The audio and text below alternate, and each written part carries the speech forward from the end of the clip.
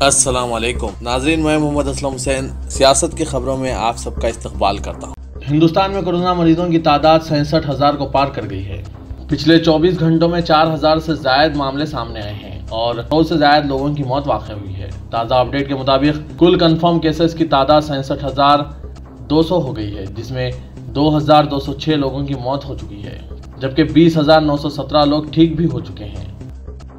महकुमा रेलवे ने मुसाफिर ट्रेन खिदमत को जजवी तौर पर 12 मई से शुरू करने का फैसला किया है और इसका आगाज़ नई दिल्ली से 15 जोड़ी ट्रेनों के साथ शुरू होगा, जिसके लिए महज ऑनलाइन टिकट बुकिंग की सहूलत दी जा रही है। सरकारी जराये के मुताबिक Indian railway Dibrugarh, Agartala, Howrah, Patna, Bilaspur, Ranchi, Bhubaneswar, Secunderabad, Bengaluru, Chennai Thiruvananthapuram Madgaon, Mumbai central, Ahmedabad और जम्मू तवाई के लिए और वहाँ से वापसी के लिए जज्वी तौर पर ट्रेनें चलाई जाएँगी। ये एसी ट्रेनें होंगी। जराये के मुताबिक इन ट्रेनों के लिए ऑनलाइन बुकिंग पीर 11 मई को शाम चार बजे से आईआरसीटीसी की वेबसाइट पर शुरू होगी। रेलवे स्टेशन पर कोई टिकट काउंटर नहीं खुलेगा। सिर्फ़ कंफर्म टिकट वाले मुसाफिरों को ही स्टेशन के अंदर आने की इजाज़त होगी। तमाम मुसाफिरों के लिए चेहरे पर मास्क लगाना लाजमी होगा। थर्मल स्क्रीनिंग के बाद सिर्फ़ इन्हीं मुसाफिरों को ही दाखिला दिया जाएगा जिनमें कोरोना की अलामत नहीं होगी। जराए ने बताया कि इसके बाद रेलवे दूसरे रूट पर भी मुसाफिर ट्रेनें चलाई जाएँगी। वज़ीर अजम नरेंद्र मोदी कोरोना वायरस की वजह से नाफिज करदा लॉकडाउन से बाहर निकलने और मुआशी सरगर्मियों को तेज करने के सिलसिले में मुख्तलिफ़ रियासतों के वज़ीर अलाओं के साथ आज वीडियो कॉन्फ्रेंस के ज़रिए बातचीत करेंगे। मुल्क में कोरोना वायरस के फैलने के बाद से यह पांचवी मरतबा के वज़ीर अजम चीफ मिनिस्टरों के साथ बातचीत कर रहे हैं। वजी अजम के दफ्तर से जारी करदा बयान में बताया गया है कि नरेंद्र मोदी आज दोपहर तीन बजे चीफ मिनिस्टर के साथ वीडियो कॉन्फ्रेंसिंग के ज़रिए बातचीत का आगाज़ करेंगे। सबक वज़ीर अजम मनमोहन सिंह को आज रात सीने में तकलीफ़ की शिकायत पर नई दिल्ली के all India institute of medical science में भर्ती कराया गया है। सीनियर कांग्रेस लीडर को रात पौने नौ बजे एम्स लाया गया, जहाँ डॉक्टरों ने इन्हें अमराज कल्ब के वार्ड में भर्ती किया और इन पर नज़र रखे हुए हैं। डॉक्टरों ने बताया कि सत्ती अस्सी साल मनमोहन सिंह को आम वार्ड में भर्ती किया गया है। 2009 में एम्स में ही इनके कल्ब की बाईपास सर्जरी हुई थी। मरकजी वज़ीर इतलात नशरियात प्रकाश जावेडकर ने जाली खबरों को कमतर मकासद के साथ फैलाए जाने को जमहूरियत के लिए खतरनाक करार देते हुए कहा है कि हुकूमत इस जिमन में सख्त कानूनी इकदाम पर गौर कर रही है। जावेडकर ने नेशनल यूनियन ऑफ़ जर्नलिस्ट के एक सेमिनार में तंजीम की तरफ़ से जाली खबरों पर तैयार की गई एक रिपोर्ट जारी करते हुए इन ख्याल का इजहार किया। वज़ीर इतलात और नशरियात का कहना था कि कोरोना के खिलाफ मुहिम में हुकूमत की कामयाबी से इनकार करने के लिए एक खास तबके के ज़रिए जाली खबरें फैलाई जा रही है। इस किस्म की खबरें जमहूरियत के लिए बहुत ख़तरनाक है। इनकी सच्चाई को ज़ाहिर करने के लिए फेक न्यूज़ के बारे में तैयार की गई रिपोर्ट को बेहद सराहा गया है। दिल्ली हुकूमत ने तबलीगी जमात के अरकान को क्वारंटाइन मराकज से घर जाने के अहकाम जारी किए हैं। दिल्ली के तमाम डिप्टी कमिश्नरों को इस सिलसिले में हुक्म का खत जारी किया गया। निज़ामुद्दीन मरकज़ में मुनदा तबलीगी जमात में शामिल हुए। फ़िलहाल कुल दो हज़ार चार सौ छियालीस रुकन मुख्तलिफ़ क्वारंटाइन मराकज में हैं। वज़ीर सेहत सुतेंद्र जैन ने भी कुछ दिन पहले क्वारंटाइन की मुद्दत पूरी करने वाले जमात वालों को घर जाने देने की बात कही थी और अब सरकारी हुक्म जारी कर दिया गया है।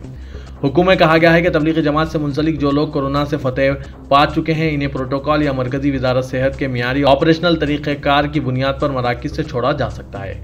दूसरी रियासतों के जमात वालों को इनके घर भेजने का इंतज़ाम करने को भी कहा गया है। दिल्ली के चीफ मिनिस्टर अरविंद केजरीवाल ने मुहाजिर मजदूरों से अपील की कि वह शहर दिल्ली छोड़कर ना जाएँ। उन्होंने कहा कि सूरत हाल तब्दील हो रही है।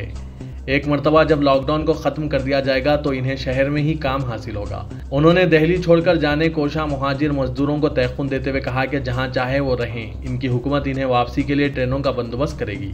ये लॉकडाउन बहुत जल्द ख़त्म होने वाला है और हर चीज़ वापस अपने मुकाम पर आ रही है। जब हर सरगर्मी शुरू हो रही है तो आपको यहाँ रोज़गार मैसर आएगा। उन्होंने कहा कि हुकूमत दहली मरकज से मुशावरत करते हुए दहली वापस आने वालों के लिए ट्रेनों का बंदोबस्त करने का मनसूबा बनाया है। तो प्रदेश के शहर देवबंद में गुजशत 40 दिन से क्वारंटाइन मरकज में रखे गए दिल्ली से ताल्लुक रखने वाले तबलीगी जमात के नौ अरकान ने चीफ मिनिस्टर अरविंद केजरीवाल को मकतूब रवाना करते हुए मुतालबा किया कि इन्हें दहली वापसी का इंतज़ाम किया जाए ताकि वो अपने घरों को वापस हो सके। इनके क्वारंटाइन वक्फे के अख्ताम पर जिला सहारनपुर के इंतजामिया ने इन्हें वापस जाने की इजाज़त दे दी है। दहली के मोहल्लेजात दरियागंज खरोलबाग और ओखला के रहने वाले इन नौ अफराद ने कहा कि इनमें से कोई भी माह मार्च के दौरान दिल्ली में मनदा तबलीगी जमात के इज्तम में शिरकत नहीं की थी। हुकूमत उत्तर प्रदेश ने एक माह कबल इनके कोरोना वायरस का टेस्ट करवाया था, जो मनफी आया। इन नौ अफराद ने बताया कि वो माह फरवरी के आखिरी हफ़्ते में देवबंद आए थे। तबलीगी जमात के अरकान में कोविड उन्नीस मर्ज मुस्बित पाए जाने पर इन अफराद को देवबंद में मुख्तलिफ़ क्वारंटाइन मराकज़ को मुंतकिल किया गया। इस तरह ये लोग क्वारंटाइन मरकज़ में 40 दिन से ज़्यादा मुखीम हैं।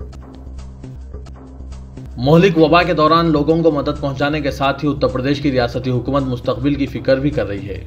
उत्तर प्रदेश के वजी अला योगी आदित्यनाथ ने टीम ग्यारह के साथ रोज़ाना की मीटिंग करके तिब्बी सहूलियात और लोगों को ज़रूरी अशिया की फरहमी पर फोकस कर रहे हैं। अब बड़े पैमाने पर गैर रियासत से आने वाले मजदूरों की वापसी के बाद इनको रोज़गार मुहैया कराए जाने पर ज़ोर दिया है।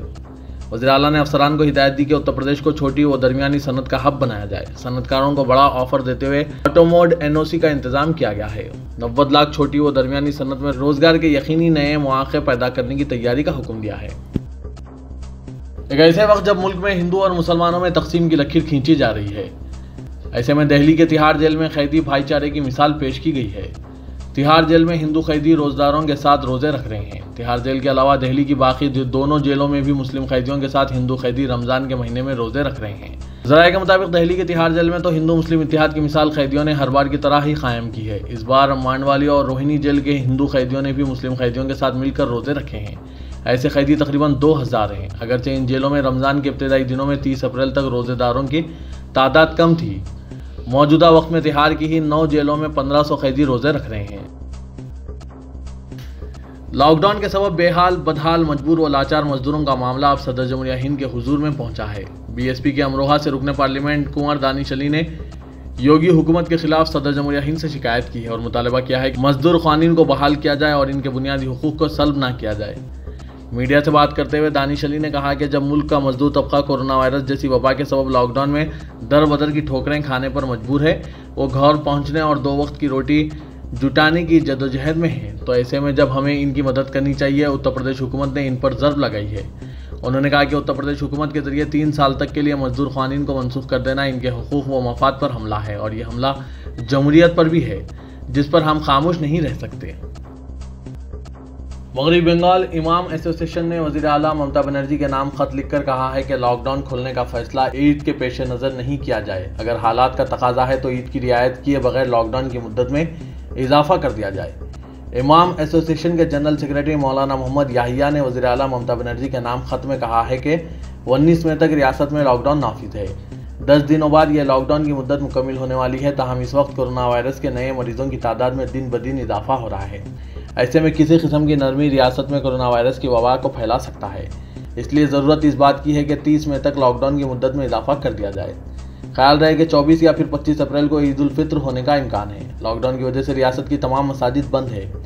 रमज़ान के बावजूद किसी भी मस्जिद में नमाज़ तरावी नहीं हो रही है और ना ही जमात हो रही है।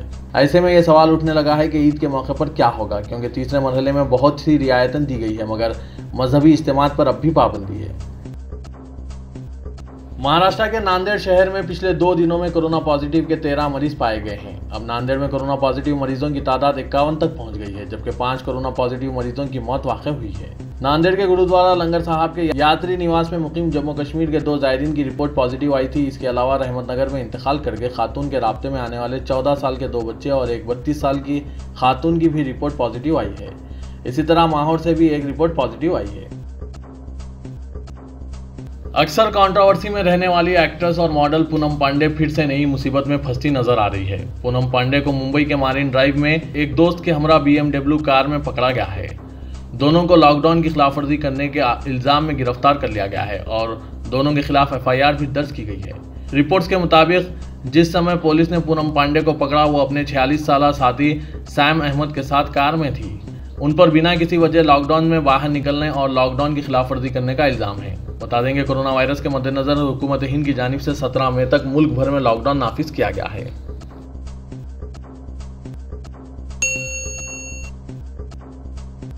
आलमी वबा कोविड उन्नीस के दिन ब दिन बढ़ते कहर के दरमियान कोरोना मुतासरीन की तादाद 40 लाख पार कर गई है। दुनिया भर के एक सौ ममालिक और इलाकों में अब तक इकतालीस लाख अफराद इस बीमारी से मुतासर हुए हैं और दो लाख अस्सी हज़ार से ज़्यादा हलाक हो चुके हैं। अमेरिका की जॉन हॉपिक्स यूनिवर्सिटी के साइंस और इंजीनियरिंग सेंटर की जानब से जारी आदाद शुमार के मुताबिक अमेरिका में कोरोना वायरस से दुनिया में सबसे ज़्यादा अफराद मुतासर हुए हैं और यहाँ सबसे ज़्यादा तेरह लाख से ज़्यादा कोरोना के केसेस सामने आए हैं।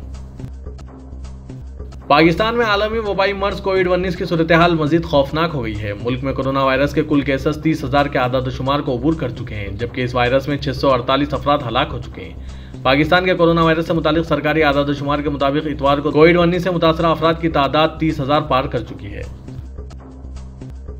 मुतहदा अरब इमारत ने आज कोरोना वायरस के सात सौ इक्यासी नए केसों की तस्दीक की है और इस मौलिक वबा का शिकार मजीद तेरह अफराद दम तोड़ गए हैं। यूएई ने रमज़ान मुबारक के आगाज़ से कबल मौलिक वबा के ताल्लुक से आयद करदा पाबंदियों में नरमी की थी और इसके दो हफ़्ते के बाद आज एक दिन में सबसे ज़्यादा केसेस रिकॉर्ड किए गए हैं।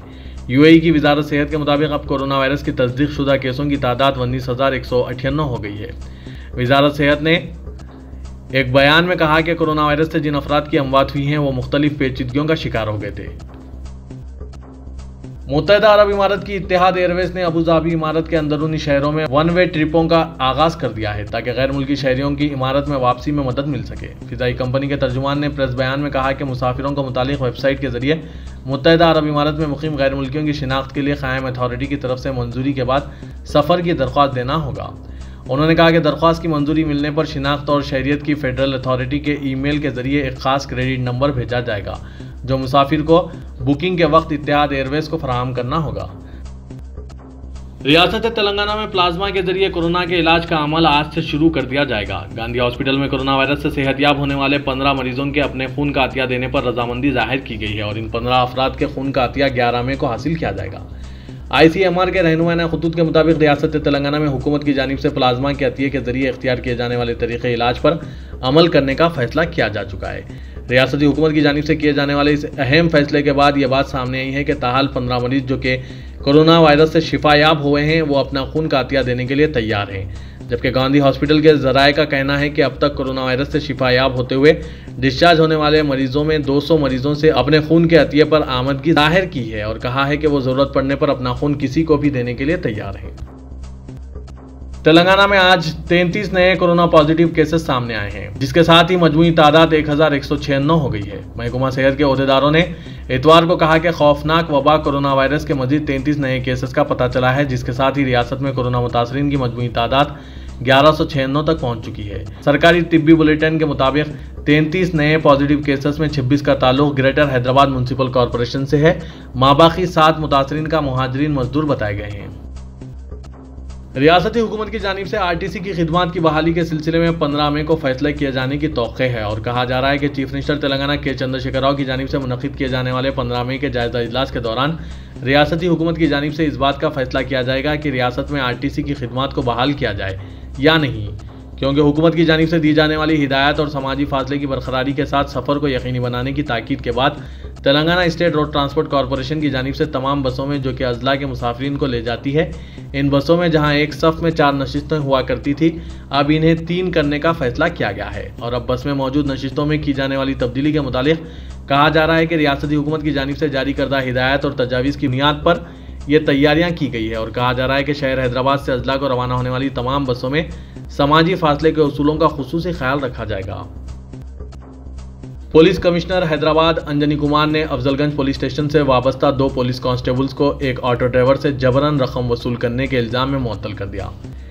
डी पांचा मुकेश और बी सुरेश जो अफजलगंज पुलिस स्टेशन के ब्लू कॉर्ड्स पेट्रोलिंग पार्टी में खिदमत अंजाम दे रहे हैं, शहर के इलाके जामबाग मौजम जाही मार्केट पर एक ऑटो ड्राइवर जो ज़रूरी अशिया मुंतकिल कर रहा था इसे रोककर मुबैना तौर पर रकम वसूल की। इस हरकत को बाज़ अफराद ने वीडियो में कैद करके इसे सोशल मीडिया पर वायरल कर दिया। इस बात का इल्म होने पर पुलिस कमिश्नर ने इस मामले की फिलफोर तहकीकत करवाई और दोनों पुलिस कांस्टेबल्स को मअतल करने के अहकाम जारी किए हैं, जबकि inspector police Afzalgunj police station को भी चार्ज मेमो जारी किया गया है।